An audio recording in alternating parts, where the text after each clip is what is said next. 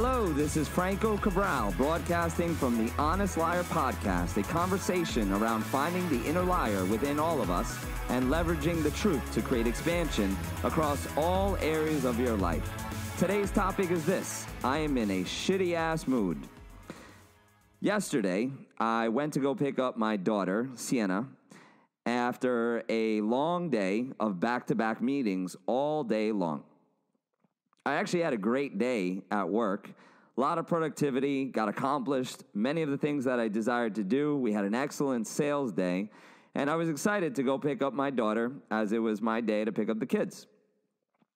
I walk in to pick up Sienna at her school, and I was received with this awesome hug.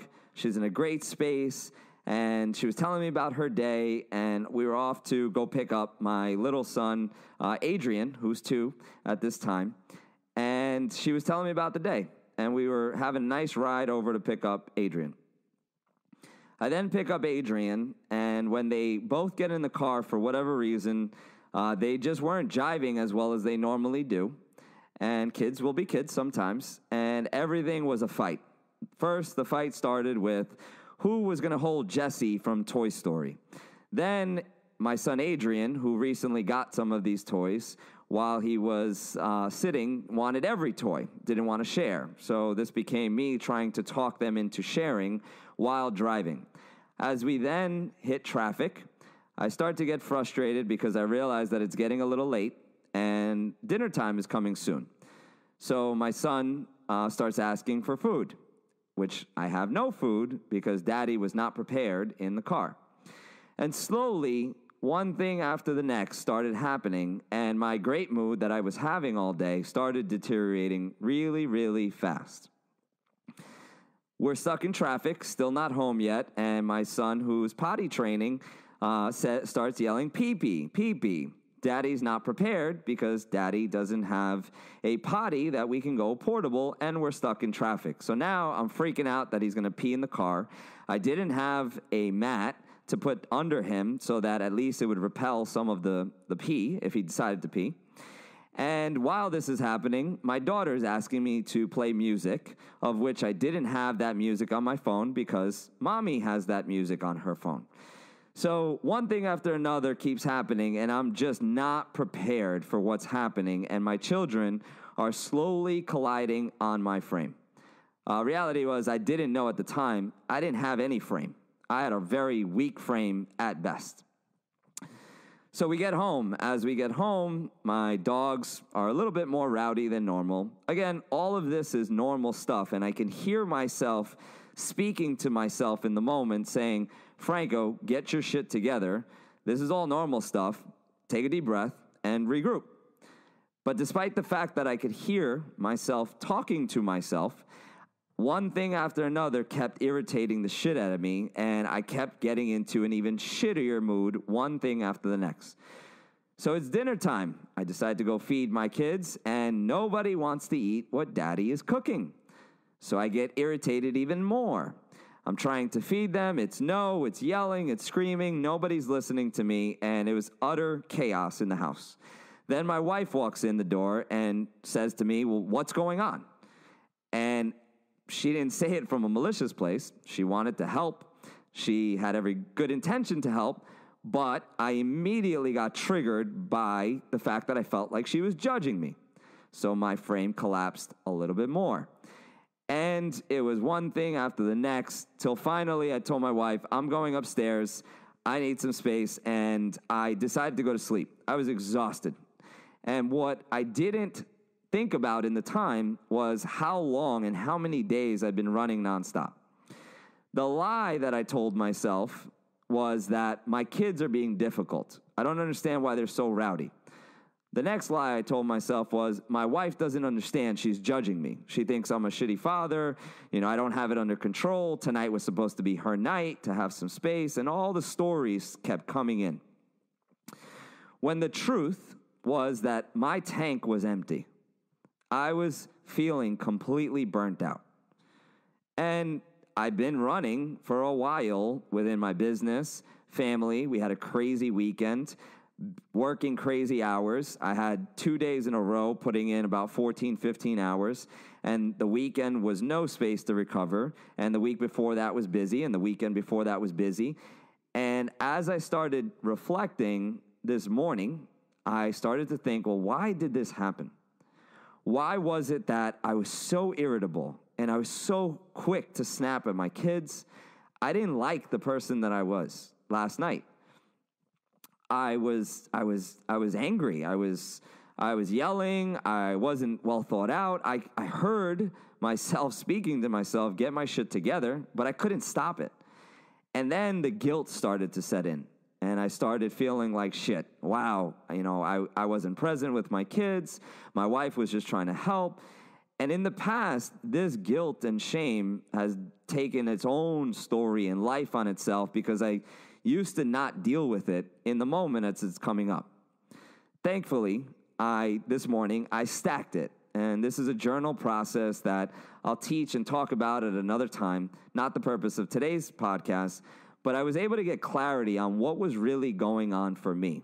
And here's where the lesson or the reminder of the lesson that came up for me that I want to share with you today. I realized that I was on empty. And I started understanding, well, why am I on empty? Or thinking about why am I feeling so burnt out? Is it, you know, did I just take on too much? Why am I feeling overwhelmed? And what it came down to was that I realized I hadn't done anything for myself and created space for me in a while.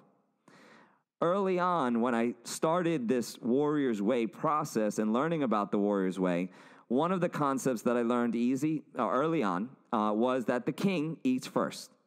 And I find myself still forgetting this at times. And this is essentially what happened. So, if you've ever been on a plane, you probably have heard the instructions put your oxygen mask on first before looking to put your family's oxygen mask, even if you have kids. Because ultimately, if you stop breathing, you're not going to be able to help anybody. So, taking that process into a more tactical approach, I learned this concept of dating myself.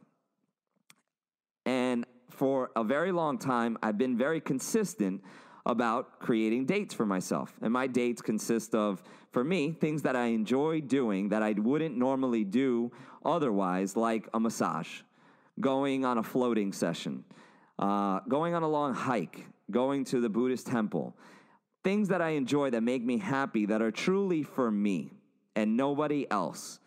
And what I've found over time is by doing these things, I get a recharge and I'm actually able to produce more. I'm able to hold more space for my family. I'm able to create more presence. But when I don't date myself and create space for myself, after what usually is about two to three weeks period for me, I get to this place of burnout. And what's worse for me is in this place of burnout, I get to this place where I start to resent everybody. I resent my children. I resent my wife. I resent my employees. And the reality is, I'm the only person I should be upset with is myself. But it goes outwardly first to blame. And I start blaming other people because they're colliding on my space but only I can allow anybody else to collide on my frame. And they weren't even colliding on my frame because I hadn't actually set a frame of date night around myself for the last few weeks. And as I was reflecting, my course correction immediately became it's time to set a date night for myself. Because had I felt like there was some space for me and I got that recharge, I know that I would have been better at shifting in the moment and not been so triggered by my kids and my wife because they weren't actually being that difficult. They were being kids, and that's what kids do. And on any other night when I wasn't in that weak frame, I've dealt with that powerfully. My wife was actually being super supportive, and I'm grateful for the way that she sh- showed up, despite the fact that I was a bit of a lunatic. She held space for me because I couldn't hold space for myself at that time. So, my course correction is that I'm going to be going on a floating session this week, a floating date with myself, which, if you don't know about floating, you should definitely look it up Basically, you're in a meditative state for about an hour in a float tank that has uh, water and a few thousand pounds of sodium, and you become buoyant and you float. Zero gravity or something like that. But the meditative state that that brings me in, that recharge, and it's something more importantly that I enjoy. So whether you enjoy floating or not, it's really this process of a date with yourself is about doing something that you typically wouldn't do for yourself that you really enjoy. And it's time with you that gives you a recharge. But also, just the sheer fact of knowing that I scheduled a date for myself immediately shifted my frame from a place of feeling like I'm not important to, okay, I have a date coming up and there's space that's important to me, which means I'm important and I'm filling my tank. I am the only one that can fill my tank. You are the only one that can fill your tank. And so often we look to our loved ones or others to create the space for us when that's not really their responsibility. And then we get triggered by them because they keep asking for us to do things. Or we want to do things for the people we love, and we keep doing and doing and doing to the place that we feel burnt out. And we feel like, what about me? At the end of the day, it's your responsibility to take care of yourself. And that was the reminder that I got from this lesson of being in a shitty ass mood. So, my ask for you is Think about it. When was the last time you went on a date for yourself, with yourself, by yourself, where you created some space to show yourself some love and do something that you love to do? And if it's been a long time, then it's time to course correct that. Every week, I do dates when I'm sticking to my frame. And typically, I enjoy doing them most in the beginning of the week. And it mentally tells me that I'm important and I come first. The king eats first. Because if I don't eat or I don't put my oxygen mask, then there's I'm not going to be good for my family. I'm not going to be able to be the leader that I want to be because eventually I'm just going to become resentful, burn out, and then I'm not going to be any good for anybody. So if you haven't done this in a while, it's time to put your oxygen mask on.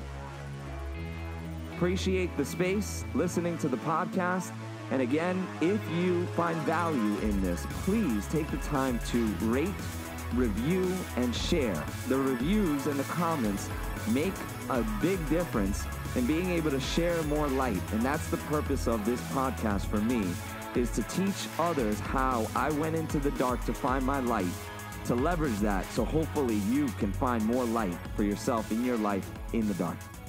Have a wonderful day, everyone.